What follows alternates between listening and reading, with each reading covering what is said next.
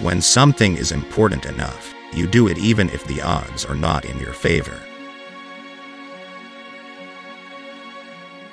Weighing too much on someone's talent and not someone's personality. I think it matters whether someone has a good heart. Life is too short for long term grudges. I would like to die on Mars, just not on impact. Patience is a virtue, and I'm learning patience. It's a tough lesson. It's okay to have your eggs in one basket as long as you control what happens to that basket. The first step is to establish that something is possible, then probability occur. My motivation for all my companies has been to be involved in something that I thought would have a significant impact on the world. If something's important enough, you should try, even if you, the probable outcome is failure. Persistence is very important. You should not give up unless you are forced to give up.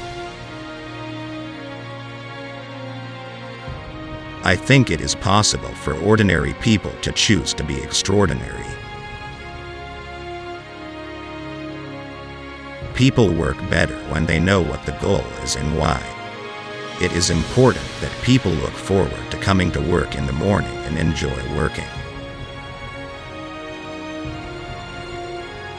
Physics is a good framework for thinking. Boil things down to their fundamental truths and reason up from there. If you're trying to create a company, it's like baking a cake. You have to have all the ingredients in the right proportion. You want to be extra rigorous about making the best possible thing you can. Find everything that's wrong with it and fix it. Being an entrepreneur is like eating glass and staring into the abyss of death.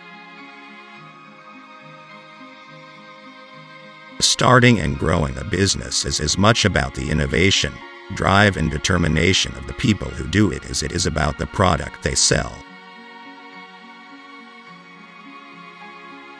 Don't be afraid of new arenas. When I was in college, I wanted to be involved in things that would change the world. You have to be pretty driven to make it happen. Otherwise, you will just make yourself miserable. Brand is just a perception, and perception will match reality over time. Sometimes it will be ahead, other times it will be behind. But brand is simply a collective impression some have about a product.